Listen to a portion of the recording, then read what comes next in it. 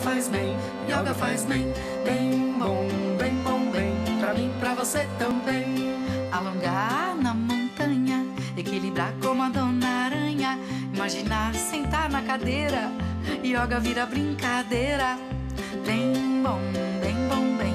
Yoga faz bem, yoga faz bem. Espanta pra fora os medos, sinta coragem no guerreiro.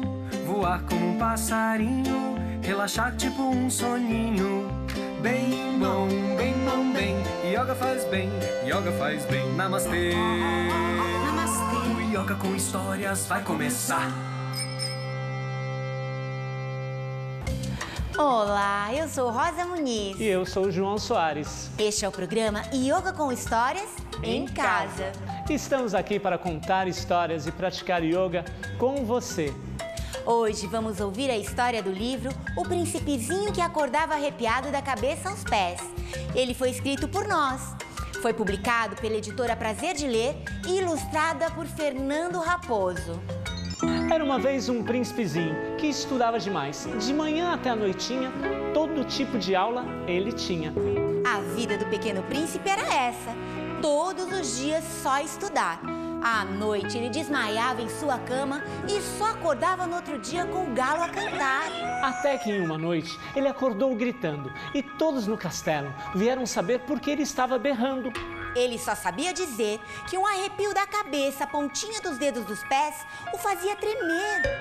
Na noite seguinte, o mesmo aconteceu. O príncipezinho berrou e todos do castelo acordou. Nem os médicos, nem os especialistas, nem tampouco os alquimistas conseguiram o príncipezinho ajudar.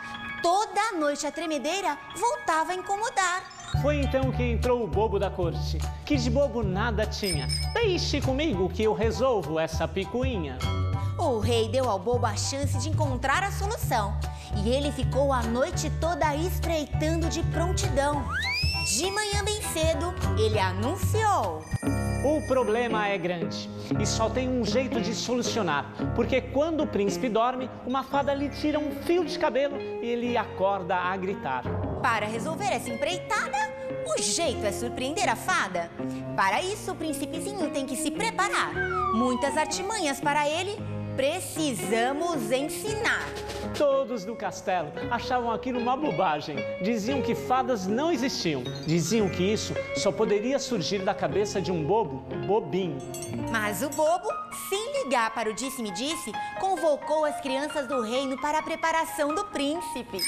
Naquela manhã, com a rainha, as crianças, o bobo e o príncipezinho se trancaram na biblioteca, de manhã até a tardinha. E era tão grande a barulheira, as gritarias e risadas, que parecia que ia rachar desde o chão até o teto da cozinha. E quando chegou o dia do príncipe se defender, foi deitar bem cedinho para a fada surpreender. Quando tudo estava em silêncio, de repente se ouviu um brum e todos acordaram com aquele zum zum zum. O que é isso? perguntaram. É o príncipezinho brincando aos pega-pegas com a fada, respondeu o bobo. Dessa vez ela não escapa. Mesmo sem ver a fada, todos acompanhavam o príncipezinho. No lustre ele se pendurou, pelo corrimão caracol ele escorregou e o rei nervoso ficou. A rainha calmamente falou: Calma, meu bem, é para surpreender a fada. Desta vez ela não escapa. Ágil e veloz como ninguém nunca viu, o príncipe que nunca se divertia pulava para todo lado, corria e dava risadas e até desafinado cantava. E durante toda a noite, quantas o príncipe aprontou? Virou cambalhota e bananeira ele plantou em cima do sofá real. E o rei quase passou mal. Andou de skate, fez manobras radicais e o rei já não aguentava mais.